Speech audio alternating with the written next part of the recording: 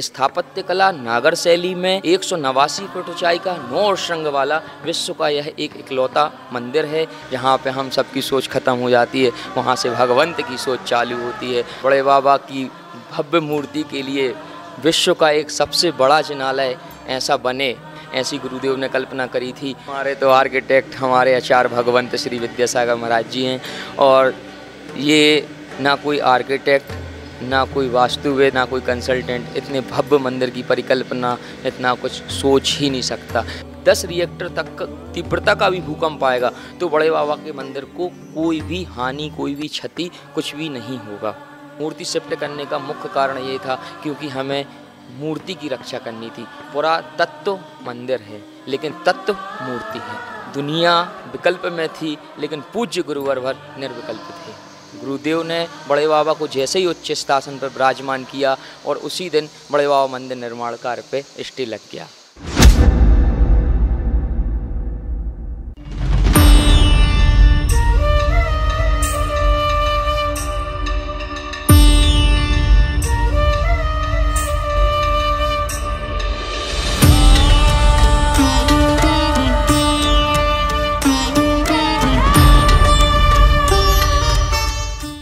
बड़े बाबा, एक ऐसा शब्द जिसे सुनकर हम सबकी स्मृतियों में आ जाते हैं। कुंडलपुर के बड़े बाबा देवादिदेव श्री आदिनाथ भगवान। आज मैं कुंडलपुर की धरा से पुण्योदय विद्या संघ से अंकित जैन मित्रा आप सभी का स्वागत करता हूँ। आज हम बात करेंगे कुंडलपुर निर्माण कमेटी के इंजीनियर श्री गौरव जैन जी से, जो कि कमेटी के पदाधिकारी हैं और उनसे हम जानेंगे कुंडलपुर से जुड़ी ऐसी कई सारी बातों को। जो कि काफ़ी विवाद में रही हैं। कैसे मंदिर का निर्माण हो रहा है बड़े बाबा को कैसे यहाँ स्थानांतरित कर किया गया कैसे कोर्ट में केसेस लगे क्या उन केसेस का निवारण हुआ उसके बाद में आचार्य श्री विद्यासागर जी महाराज की क्या परिकल्पना इस पूरे भव्य जनाले के लिए रही कैसे ये मंदिर विश्व का सबसे बड़ा जैन मंदिर है ऐसे कई सारे सवालों का जवाब हम जानेंगे। गौरव जी जय जिनेन्द्र जय जिनेन्द्र मैं आपसे ये पूछना चाहता हूँ कि बड़े बाबा इस नए मंदिर में विराजमान है और बड़े बाबा इससे पहले बाहर एक दूसरे मंदिर में विराजमान थे। तो ये आचार्य श्री के मन में पहली बार ये बात कैसे आई कि मूर्ति को एक उच्चासन पर विराजमान करना है? क्या कारण रहे? कृपया बताइए। अंकित भी आपको जय जिनेन्द्र सबसे सर्वप्रथम आचार्य श्री ने 1999 में सोचा कि बड़े बाबा के मंदिर को एक भव्य स्वरूप दिया जाए। उसका मुख्य कारण यह था कि जो पुराना बड़े बाबा का मंदिर बना हुआ था, वो चूने से और ईट से बना हुआ था। निन्यानवे वर्ष सन 1999 में जब भूकंप आया, जबलपुर के आसपास अपना जॉन फोर क्षेत्र में आता है, ये भूकंप के क्षेत्र में, जब भूकंप आया तो बड़े बाबा के पुराने मंदिर में बहुत सारी जगह, कई जगह दरारें आ गई थी और गर्भगृह भी कई जगह से डैमेज हो गया था। तो उस समय वी के कासलीवाल साहब थे भूगर्भ शास्त्री थे, जियोलॉजिस्ट भी थे तो उन्होंने गुरुदेव के चरणों में आए और गुरुदेव से कहा कि बड़े बाबा की मूर्ति को सुरक्षित करना अब अत्यंत आवश्यक है। यदि हम इस मूर्ति को अन्यत्र कहीं दूसरे स्थान पर स्थानांतरित नहीं करेंगे तो भविष्य में और इससे बड़ी तीव्रता का यदि भूकंप आता है तो मूर्ति ओवरटर्न होने की, पलटने की संभावना है। तो गुरुदेव ने काफ़ी मंथन, चिंतन किया कि इस इतने बड़े, लेकिन गुरुदेव को तत्व की रक्षा करनी थी। यदि मूर्ति भविष्य में भूकंप आने पे ओवरटर्न हो जाती और क्षति हो जाती मूर्ति की तो एक बहुत बड़ी नुकसान हो जाता। मतलब मंदिर या मूर्ति में से किसी एक को चुनना था। चुनना था क्योंकि भविष्य में किसी ने नहीं देखा आने वाले समय में कौन सा कितनी तीव्रता का भूकंप आ जाता और भूकंप में यदि मूर्ति ओवरटर्न हो जाके गिर जाती तो मूर्ति टूट जाती। तो मूर्ति की रक्षा करने के लिए गुरुदेव ने यही महाप्रसाद एक महा मंदिर सबसे भव्य मंदिर की परिकल्पना करी कि मूर्ति बड़े बाबा की हज़ारों वर्ष, हज़ारों हज़ारों वर्ष के लिए सुरक्षित हो पाए और जैन दर्शनार्थु, दर्शनार्थी और लाखों लोगों को बड़े बाबा की मूर्ति के दर्शन का लाभ प्राप्त हो पाए। जी। ये तो बहुत समय से एक भ्रांति थी क्योंकि लोगों के मन में यही बात आती थी कि बड़े बाबा का जब पहले से मंदिर था तो उनको दूसरी जगह क्यों विराजमान किया गया? साथ ही साथ ये बातें आती है कि इतना बड़ा जिनालय बनाने की क्या आवश्यकता थी? तो मैं आपसे अगला प्रश्न यही जानना चाहूँगा कि ठीक है, आपने कारण बताया कि भूकंप के कारण सुरक्षा की दृष्टि से हमने बड़े बाबा को यहाँ उच्च आसन पर विराजमान किया। साथ ही आप हमारे दर्शकों को ये भी बताएँ कि इतना भव्य जिनालय कैसे बना, कैसे इसकी परिकल्पना हुई और इतना भव्य जिनालय की जिसके बारे में ये कहा जा रहा है कि ये विश्व के सबसे बड़े जैन मंदिरों में से एक है। इसके बारे में भी मैं आपसे आगे चर्चा करूँगा। पहले आप हमें ये बताएँ कि इतने भव्य जिनालय की परिकल्पना आचार्य श्री ने कैसे सोची? आचार्य श्री के मन में बड़े बाबा विराजमान हैं और बड़े बाबा की भव्य मूर्ति के लिए विश्व का एक सबसे बड़ा जिनालय ऐसा बने। स्थापत्य कला नागर शैली का जिनालय बने, ऐसी गुरुदेव ने कल्पना करी थी। और मूर्ति की ऊंचाई, उसकी चौड़ाई, उसकी भव्यता, उसके आकर्षण, इन सारी चीज़ों को देखते हुए गुरुदेव ने कल्पना करी कि ये बड़े बाबा बहुत बड़े हैं। ये मंदिर भी बड़े बाबा के लिए छोटा है। यदि देखा जाए तो। इससे भी भव्य मंदिर की भी परिकल्पना गुरुदेव ने करी थी, लेकिन ये मंदिर का जो शिल्प होता है, ये स्थापत्य कला नागर शैली, चार प्रकार की शैलियाँ होती हैं, जो अपना ये मंदिर निर्माण हुआ है ये स्थापत्य कला नागर शैली में बना है। मूर्ति की ऊंचाई के हिसाब से, उसके वास्तु के हिसाब से सारे मंडपों के मापांक तय होते हैं। जैसे बड़े बाबा की मूर्ति की ऊंचाई करीब 12 फीट ऊँची है और 12 फीट लगभग चौड़ी है और दो फीट इसकी थिकनेस है। बड़े मोटाई जो है, वो दो फुट मोटी मूर्ति है। तो इस मूर्ति के हिसाब से इसके गर्भगृह की साइज़ कोली मंडप की, गुड़ मंडप की, रंग मंडप की, नृत्य मंडप की या बड़े बाबा की चौकी की सारी साइज़ें निर्धारित होती हैं।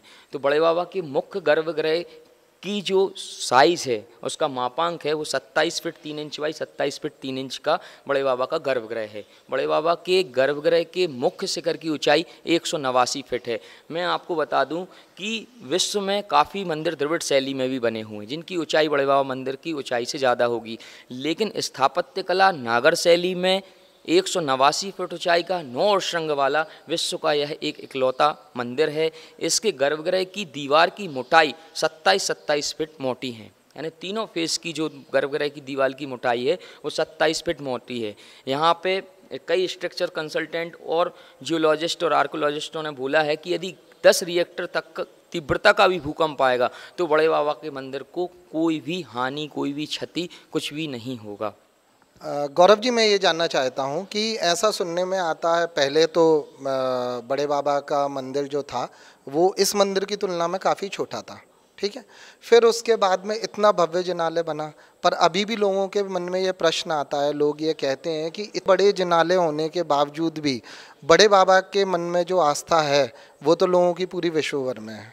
वो कोई एक नगरी तक नहीं है, वो कोई एक देश तक नहीं है, विदेशों से लोग आते हैं दर्शन करने के लिए और जब इतना सुंदर मंदिर बन रहा है तो और भी लोग दर्शन करने आएँगे। तो कई लोगों का ये कहना है कि जब लाखों की भीड़ यहाँ आएगी तो उनके लिए भी ये मंदिर छोटा पड़ेगा। तो मैं जानना चाहता हूँ कि जब कमेटी बड़ा बना ही रही थी तो इससे भी और बड़ा क्यों नहीं बनाया? ये आपने जो प्रश्न किया है, ये बड़े बाबा मंदिर का, की जो आर्किटेक्चरल डिज़ाइन है, ये किसी एक आर्किटेक्ट के हाथ में नहीं होती। किसी भी मंदिर की डिज़ाइन, उसके मुख्य गर्भगृह के मुख्य मूल नायक, भगवान की मूर्ति की ऊंचाई, उसकी चौड़ाई के आधार पर सारी चीज़ें निर्धारित होती हैं। जैसे बड़े बाबा मंदिर की मूर्ति की ऊंचाई 12 फीट है। तो इसमें आर्किटेक्ट जो शास्त्रों का ये सोमपुरा समुदाय है। पूरे विश्व में बहुत कम सोमपुरा के बंधु बचे हुए हैं। वो सोमपुरा समुदाय है जो ये सारे विश्व में नागर शैली स्थापत्य कला की मंदिर की डिज़ाइन करता है। तो बड़े बाबा मंदिर कि जो गर्भगृह की साइज़ जो फिक्स होती है, वो मूर्ति की ऊंचाई के आधार पे होती है। बड़े बाबा मंदिर के शिखर की भी ऊंचाई भी उसी के आधार पर निर्धारित होती है। इसमें शिल्प रत्नाकर अपराजित प्रक्षा, वस्तु विद्या और सबसे बहुमूल्य जो शास्त्र है आर्किटेक्चर नागर शैली का, ये प्रसाद मंडन शास्त्र है। ये शास्त्र कोई अभी के नहीं, ये हज़ारों हज़ारों वर्ष प्राचीन शास्त्र हैं जो अपने आचार्यों ने लिखे हुए हैं। इनके ताम्रपत्र पे, छालों पे, इनके सारे मानचित्र बने हुए हैं। उन मानचित्रों के आधार पर इस मंदिर की पूरी परिकल्पना निर्धारित की गई है। नागर शैली ही क्यों? इतनी सारी शैलियाँ हैं तो उनमें क्या नागर शैली सर्वश्रेष्ठ है? अपने अपना जो रीजन है नॉर्थ रीजन है द्रविड़ शैली साउथ में उपयोग होती है नागर शैली का प्रयोग अपने नॉर्थ रीजन में ज़्यादा किया जाता है। गौरव जी हमारे श्रोताओं को आप बताएँ कि अभी थोड़ी देर पहले आपने चर्चा की कि ये विश्व का सबसे बड़ा जैन मंदिर है। तो ये बात मन में आती है कि विश्व का सबसे बड़ा जैन मंदिर हमने तो सुना है और भी जगह कई सारे मंदिर हैं। तो किस तरीके से ये विश्व का सबसे जैन मंदिर आप कह रहे हैं? आ, अंकित जी कुंडलपुर बड़े बाबा का मंदिर विश्व का सबसे बड़ा मंदिर है ये बिल्कुल सही बात है। लेकिन मंदिर बड़ा होने के कई मानक होते हैं। सबसे प्रथम तो ये स्थापत्य कला नागर शैली का सबसे बड़ा मंदिर है। और मंदिर बड़ा कैसे माना जाता है कि मंदिर का घन फुट कितना है? तो ये मंदिर करीब 12 लाख घन फुट का है। तो 12 लाख। तो 12 लाख घन फुट का मंदिर अभी कोई भी मंदिर नहीं है। बहुत सारे बड़े मंदिर हैं, द्रविड़ शैली के हैं, सोमनाथ का मंदिर है, राम मंदिर बनने वाला भी है, अक्षरधाम मंदिर भी है, लेकिन सारे मंदिर पाँच लाख घन फुट के अंदर में सब सिमट जाते हैं। ये मंदिर बारह लाख घन फुट का है। इस कारण से कहते हैं कि बड़े बाबा मंदिर पाँच मंडपों का है और बड़े बाबा मंदिर के पूर्व दिशा और पश्चिम दिशा में दो और नए जिलालय हैं, इसलिए ये मंदिर विश्व का सबसे बड़ा मंदिर, जैन मंदिर है। गौरव जी, मैं ये जानना चाहता हूँ कि इतने भव्य जनाले की परिकल्पना किसकी थी? क्या कोई आर्किटेक्ट हैं जिन्होंने इस पूरी परिकल्पना में अपना दिमाग लगाया या कोई और शख्सियत है? हमारे तो आर्किटेक्ट हमारे आचार्य भगवंत श्री विद्यासागर महाराज जी हैं और ये ना कोई आर्किटेक्ट ना कोई वास्तुविद, ना कोई कंसल्टेंट इतने भव्य मंदिर की परिकल्पना, इतना कुछ सोच ही नहीं सकता। जहाँ पे हम सबकी सोच खत्म हो जाती है, वहाँ से भगवंत की सोच चालू होती है। कभी भूतो न भविष्य इतनी परिकल्पना, कोई कोई कोई कोई भी आर्किटेक्ट कोई भी सोच भी नहीं सकता। ये हमारे स्वयं समस्त आर्किटेक्टों ने ये चीज़ को स्वीकार किया है। श्री बड़े बाबा मंदिर के आप अभी वर्तमान में कोली मंडप वाले एरिया में खड़े हुए हैं। कोली मंडप में, विभिन्न पिलरों में, जितने भी अपने जैन आगम में, जितने आचार्य हुए, आचार्य शांति सागर जी, आचार्य वीर सागर जी, उन सारी आचार्यों की मूर्तियाँ बनाई गई हैं। महाराज जी आहार ले रहे हैं, महाराज जी स्वाध्याय कर रहे हैं, सामायिक कर रहे हैं, आहार चर्या के लिए निकल रहे हैं। ऐसी सारी मूर्तियाँ कोली मंडप में बनाई गई हैं।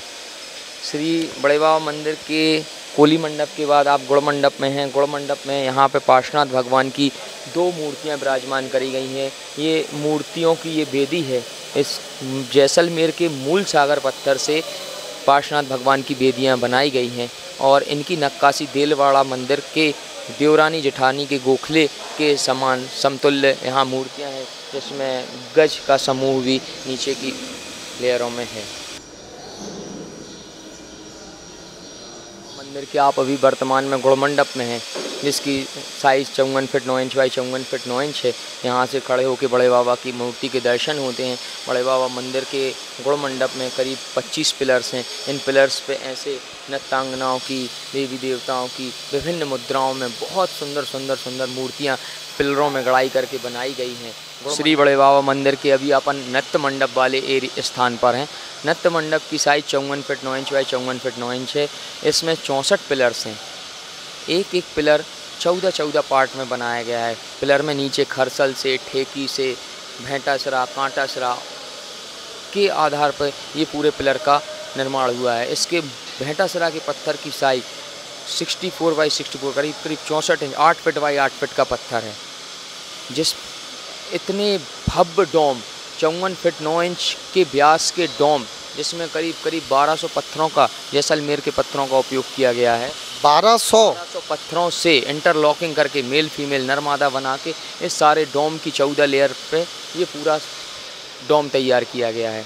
इतना बड़ा डोम हम लोगों ने अभी ना कहीं किताबों में ना किसी मंदिर के ना विश्व के किसी मंदिरों में इतना भव्य डोम नहीं देखा। श्री बड़े बाबा मंदिर के अभी अपन पश्चिम दिशा वाले मंदिर में हैं। पश्चिम दिशा वाले मंदिर के गुड़ मंडप में त्रिकाल चौबीसी का निर्माण किया गया है। त्रिकाल चौबीसी में पश्चिम दिशा में आठ वेदियाँ हैं, जो जैसलमेर के मूल सागर पत्थर से तैयार करी गई। आठ वेदियों में प्रत्येक वेदी में तीन तीन भगवान जी विराजमान होंगे और इस मंडप की साइज़ इकतालीस फिट तीन इंच बाई इकतालीस फिट तीन इंच है। इकतालीस फिट तीन इंच का भव्य डोम। जो तीन पत्थरों से बनाया गया है इंटरलॉकिंग करके, इसकी सुंदरता इसको और बढ़ाती है। पूरे गुड़ मंडप के फ्लोर में, फ्लोर का मकराना का वाइट मार्बल 40 एम थिकनेस का लगाया जाएगा। बड़े बाबा मंदिर में कुल सोलह दरवाजे हैं। सोलह दरवाज़ों की, हर दरवाजे की ऊंचाई लगभग 18 फीट 9 इंच हाइट और 8 फीट 9 इंच चौड़ाई है। दो दो पल्लों के दरवाजे हैं। ये सारे दरवाजे शीशम से बनाया जा रहा है, शीशम की लकड़ी से। और ये सब दरवाजों का निर्माण बाड़मेर में किया जा रहा है। श्री बड़े बाबा मंदिर के अभी हम पूर्व दिशा के गुड़ मंडप में हैं। गुड़ मंडप में इकतालीस फीट तीन इंच व इकतालीस फीट तीन इंच का ये गर्भगृह है। इस गर्भगृह में त्रिकाल चौबीस की आठ वेदियाँ बनाई गई हैं। आठ वेदियों में वर्तमान काल के चौबीस भगवान जी यहाँ विराजमान करे जाएँगे। बड़े बाबा मंदिर के पूर्व दिशा की ओर अपन हैं। और पूर्व दिशा में ये सी पार्ट मंडोवर है पूरा। और ये 18 फीट 9 इंच की चौकी डोम है, जो मंदिर को दो तरफ़ चौकी बनाई गई है, पूर्व दिशा के मंदिर में दो चौकी और पश्चिम दिशा के मंदिर में 18 फीट 9 इंच की दो चौकी हैं, जो मंदिर के प्रवेश द्वार भी कह सकते हैं। श्री बड़े बाबा मंदिर के पूर्व दिशा में और पश्चिम दिशा में जो नत्य मंडप की चौकी पिलर्स हैं, वहाँ पर हम खड़े हुए हैं। ये पिलर्स बहुत, इनकी साइज़ बहुत मोटी है, थिकनेस बहुत मोटी है और आप देख सकते हैं, जो कुंडलपुर में किसी भी पत्थर में आप गढ़ाई की गहराई देखेंगे तो डेढ़ से दो इंच तक गहरी गढ़ाई है। अधिकतर मंदिरों में इतनी गहरी गढ़ाई नहीं की जाती। तो कुंडलपुर में जो मुख्य आकर्षण का केंद्र है, वो है कुंडलपुर के पत्थरों की नक्काशी की, बारीकी, महीनता, उनकी गहराई। डपट गुलाई कार्विंग जिसको बोलते हैं, ये बहुत ही आकर्षक है।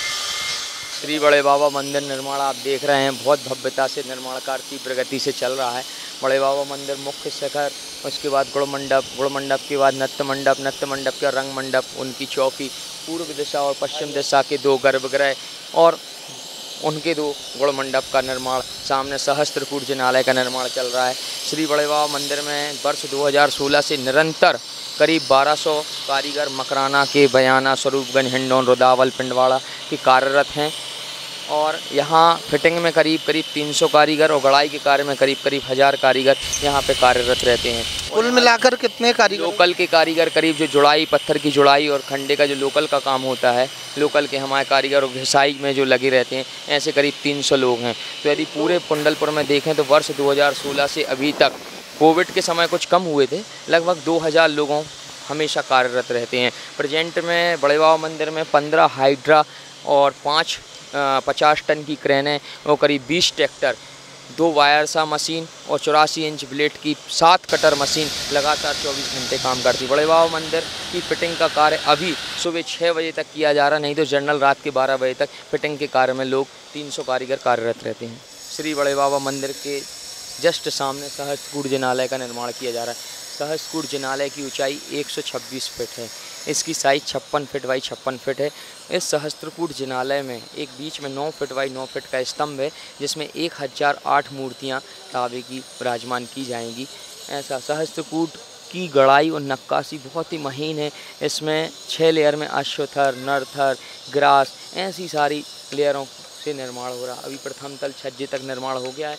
जनवरी अंत तक सहस्त्रकूट निर्माण पूर्ण हो जाएगा। बहुत ही जल्द ऐसा सुनने में आ रहा है कि यहाँ छोटे बाबा के चरण पड़ने वाले हैं। तो मैं गौरव भाई से जानना चाहूँगा कि बड़े बाबा तो इस भव्य मंदिर में विराजमान हो गए हैं, इतना भव्य मंदिर का निर्माण हो रहा है।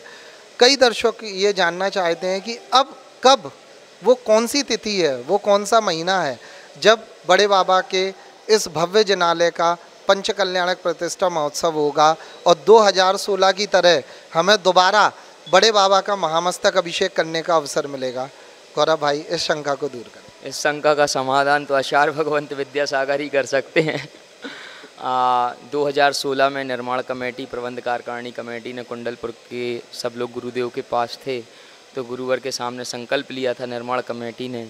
कि वर्ष 2021 में हम मंदिर पूर्ण कर गुरुवर के ससंग सानिध्य में, गुरुवर के ससंग, संघ के समस्त मुनियों, आरिकाओं, ब्रह्मचारिणी बहनों, भैया जी लोगों के सानिध्य में एक भव्य पंच कल्याणक प्राण प्रतिष्ठा गजरत महोत्सव महामस्त का अभिषेक हो ऐसी भावना भाई थी। तो वर्ष 2021 का लक्ष्य लिया था अंत का और लगभग लगभग मंदिर निर्माण पूर्ण हो चुका है। 10 से 15 परसेंट फिनिशिंग का काम और कुछ फिटिंग का काम रह गया है। गुरुवर के सानिध्य में कई बार अभी कमेटी लगातार जा रही है और गुरुवर से आशीर्वाद ले रही है कि गुरुवर आपके सानिध्य में भव्य पंच कल्याणक हो गुरुदेव ने पंच कल्याणक के लिए आशीर्वाद भी दे दिया है। अब गुरुदेव का जब यहार कुंडलपुर की ओर होगा, उसके बाद सारी तिथियाँ सुनिश्चित होंगी। लेकिन अनुमान ये है कि गर्मी आने के पहले फरवरी के माह में कुंडलपुर का भव्य पंच कल्याणक होवे, ऐसी सब भावना बाकी आप सबसे भी कहते हैं, माला गुरु जी कहते हैं, माला फेरो तो हम लोग सब माला फेर रहे हैं। आपका बहुत बहुत धन्यवाद गौरव जी। गौरव जी ने आपको मंदिर निर्माण से जुड़ी हुई काफ़ी चीज़ें बताई। आपको मंदिर निर्माण के अलावा कई सारे ऐसे सवालों के बारे में बताया कि जो कई समय से उठते हुए आ रहे थे कि मंदिर का निर्माण क्यों किया जा रहा है मूर्ति को उच्चासन पर स्थानांतरित क्यों किया गया? कितने सारे केसेस कोर्ट में चल रहे थे? वगैरह वगैरह। कई सारी समस्याएँ थी। हम तो बड़े बाबा के चरणों में नमोस्तु निवेदित कर कर, आचार्य भगवान श्री विद्यासागर जी महाराज के चरणों में नमोस्तु निवेदित कर कर यही प्रार्थना रखते हैं कि बड़े बाबा का मंदिर जल्द से जल्द पूर्णता की ओर जाए, पूर्ण हो जाए और जल्दी हमें भव्य पंच कल्याणक और महामस्तक अभिषेक करने का अवसर मिले।